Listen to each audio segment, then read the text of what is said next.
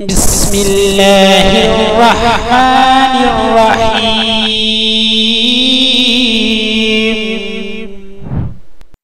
नाजरीन असलकम वरहमतुल्लाहि वबरकातुहू। आज की हम इस वीडियो में सुनन नमाज़ का तरीका जानेंगे। जो चीज़ें नमाज़ में हजूर नबी अकरम सल्लल्लाहु अलैहि वसल्लम से साबित हैं लेकिन उनकी ताकीद फ़र्ज़ और वाजिब के बराबर नहीं, सुनन कहलाती हैं। नमाज़ में दर्जा झैल सुनन है।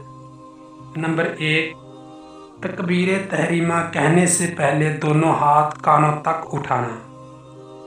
नंबर दो, दोनों हाथों की उंगलियों को मामूल के मुताबिक खुली और किबला रुख रखना। नंबर तीन तकबीर कहते वक्त सर को ना झुकाना। नंबर चार, इमाम का तकबीर तहरीमा और एक रुकन से दूसरे रुकन में जाने की तमाम तकबीरें, बुलंद आवाज़ से कहना और उसके साथ मुक्तदी का भी दिल में तकबीरात का कहना सुन्नत है। नंबर पाँच, दाएँ हाथ को बाएँ हाथ पर नाफ के नीचे बांधना। नंबर छः सना पढ़ना नंबर सात ताउस यानी आउज़ बिल्लाशैतानरजीम पढ़ना। नंबर आठ, तस्मिया यानी बिस्मिल्लाहिर्रहमानिर्रहीम पढ़ना। नंबर नौ, फ़र्ज़ नमाज़ की तीसरी और चौथी रकत में सिर्फ़ सूर फातिहा पढ़ना। नंबर दस, आमीन कहना। नंबर ग्यारह सना ताउज़ तस्मिया और आमीन सब का आहिस्ता पढ़ना।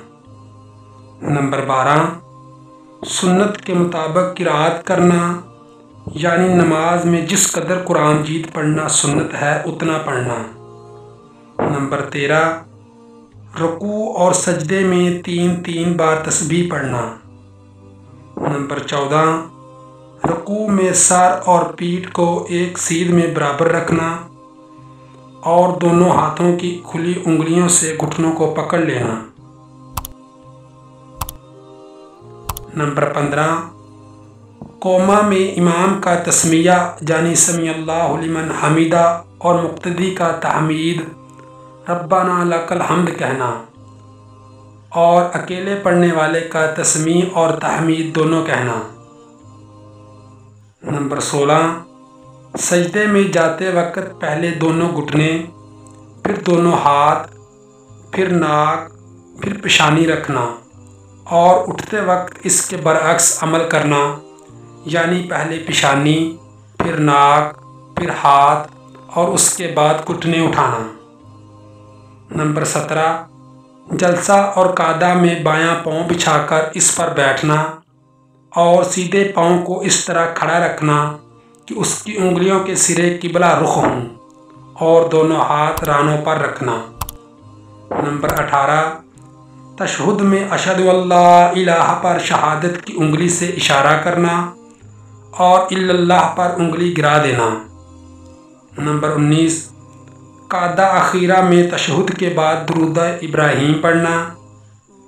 नंबर बीस दरुद इब्राहिमी के बाद दुआ पढ़ना।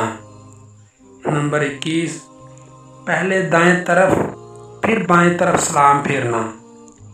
नंबर बाईस, इन सुनतों में से अगर कोई सुन्नत सहवन रह जाए या कसदम तरक की जाए तो नमाज़ नहीं टूटती और ना ही सजदा साहब वाजिब होता है, लेकिन कसदम छोड़ने वाला गुनहगार होता है। दुआ है कि अल्लाह ताला हमें इन सुनतों पर अमल करके पाँच वक्त की नमाज़ पढ़ने की तौफीक अता फरमाए।